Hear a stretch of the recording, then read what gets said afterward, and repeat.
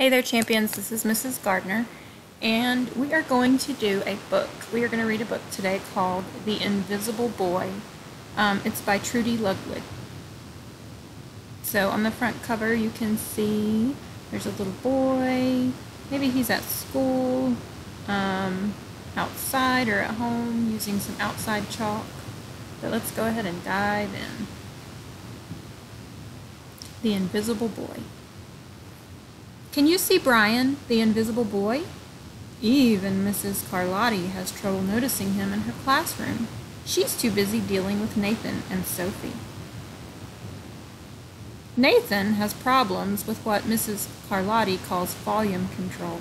He uses his outside voice inside too much. Sophie whines and complains when she doesn't get her way. Nathan and Sophie take up a lot of space. Brian doesn't. When the bell rings for recess, Micah and JT take turns choosing kids for their kickball teams. The best players get picked first. Then the best friends of the best players. Then the friends of the best friends. Only Brian is left, still waiting and hoping. JT glances in Brian's direction and, just as quickly, looks away.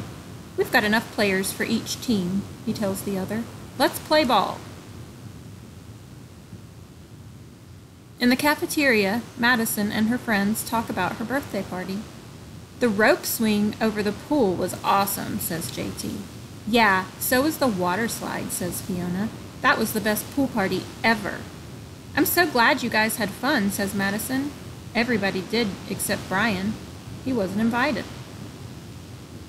At choosing time, while the other kids play board games and read, Brian sits at his table doing what he loves to do best.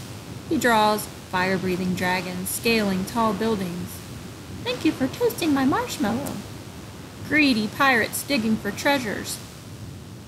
Crackers are yay! Space aliens locked in intergalactic battles. I got you now! And superheroes with the power to make friends wherever they go.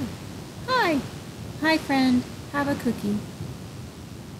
On Monday morning, Mrs. Carlotti introduces Justin, a new student, to the class. Brian smiles shyly at him. Some of the other kids sneak, looks at Justin, trying to figure out if he's cool enough to be their friend. They haven't quite made up their minds yet. At lunch, Madison and JT watch Justin eat with chopsticks. What's that? asks Madison as she points at Justin's food. It's bulgogi. Bul what? Bulgogi. Bulgogi, it's Korean barbecued beef. My grandma made it for me. It's really good. Do you want to try some? There's no way I'd eat boogergi. And the kids laugh. All of them. That is, except Brian. He sits there wondering which is worse being laughed at or feeling invisible. The next day, when Justin goes to his cubby to put away his backpack, he notices a piece of paper with his name on it. Justin, I thought the bulgogi looked good. Brian. Yum. At morning recess, Brian finds a piece of chalk on the ground and starts drawing away. You're Brian, right? Yeah. Thanks for the note. Hey, Justin, Emilio calls out from the tetherball court. You're up next. Sorry, I gotta go, says Justin. By the way, that's a really cool drawing, he adds before taking off.